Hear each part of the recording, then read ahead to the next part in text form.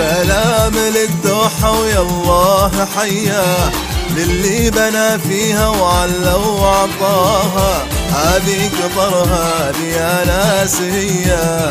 في عزها اليوم إحنا انتباها